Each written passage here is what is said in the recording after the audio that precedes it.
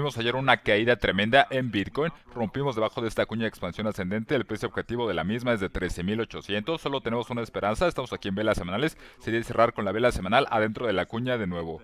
Así se embeledaría la caída. Ayer se liquidaron más de mil millones de dólares tanto en posiciones largas como cortas. ¿Y qué vemos aquí? Vamos ahora a ver la capitalización completa del criptomercado. Esto está rompiendo debajo de ese triángulo simétrico. Y esto podría tratar de eh, rescatarnos si rompemos arriba con la vela semanal.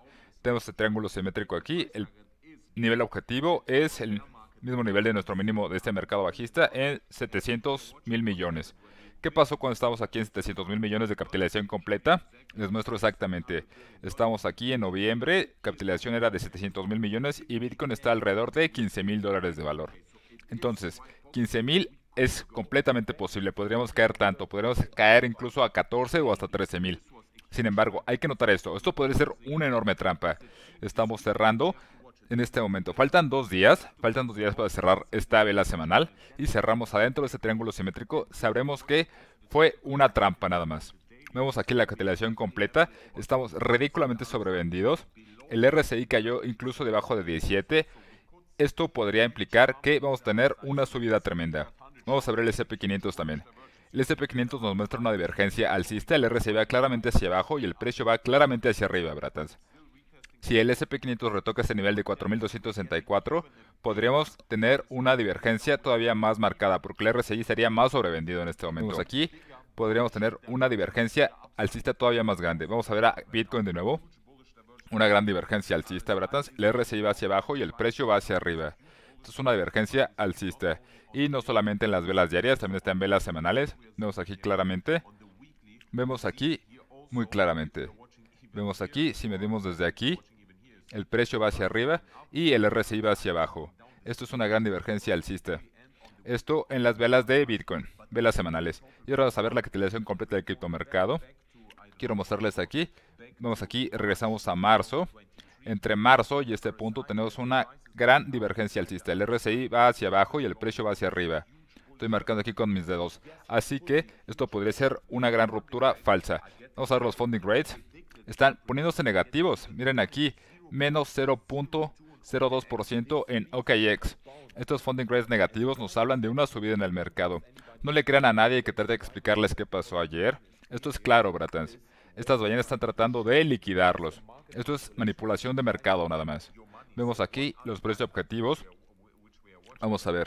Lo que es importante ver, Bratans, es que rompimos debajo de nuestra EMA mensual y semanal de 20. Rompimos claramente este soporte tremendo, este gran soporte. Les muestro exactamente ahora la capitalización completa. ¿Qué tenemos aquí? Lo importante de la capitalización completa también aquí es no solamente el triángulo simétrico, pero esta línea azul, que es nuestra EMA de 200. Esta línea azul marino, azul rey, rebotamos en la misma. En caso de que rompamos este EMA de 200, el criptomercado yo espero que caiga y que Bitcoin se vaya hasta los 15.000 o hasta los 14.000. Pero regresando a Bitcoin. Vamos a regresar a Bitcoin. Tenemos que ver, esto es muy importante. Hay que observar esto perfectamente. Rebotamos perfectamente en la EMA de 100 mensual. Podríamos ver que Bitcoin caiga claramente hasta los 21.000. Tenemos aquí el espacio de los futuros, los futuros CMI que jamás llenamos. Tenemos ahí un espacio en 21.000. Jamás cerramos ese espacio que quedó en los futuros. Aquí vemos ese espacio que jamás cerramos. Precio de 21.000. Podríamos ver una caída hasta este nivel. Esto si esto no fue una ruptura falsa, una caída falsa, pero si fue una ruptura falsa, una caída falsa, ¿qué pasaría? Vamos a ver si eso fue una caída falsa, viendo la cotización completa del criptomercado. Les muestro mis trades también. La de Arbey está en este momento en menos 10 mil dólares en pérdida. Y la de LDO se cerró. Sin embargo, creo que sigue siendo un buen momento, una excelente oportunidad de entrar en el mercado. Una posición larga, por ejemplo, en Arbey vemos aquí. Arbey, yo pondría aquí mi... Esto está poniendo un poco loco. Vamos a ver Arbey en este momento. Está todavía combatiendo este triángulo simétrico. Si entramos de nuevo a una posición, yo pondría mi stop loss en 24 dólares, debajo del mínimo local previo, debajo del mínimo del el mercado bajista previo. Yo pondría mi stop loss en 24 dólares, precio objetivo 160 dólares. Esto implica una relación ganancia-pérdida de 3.09 y LDO. Vamos a ver a LDO, Bratans. Creo que sigue siendo una oportunidad excelente de posición larga, no importa que me hayan liquidado. Por ejemplo, yo pondría en este momento pondría una posición larga en este momento, pondría mi stop loss debajo del mínimo previo, debajo de 80 centavos, precio objetivo 3 dólares con 30 centavos, relación ganancia pérdida 2.15.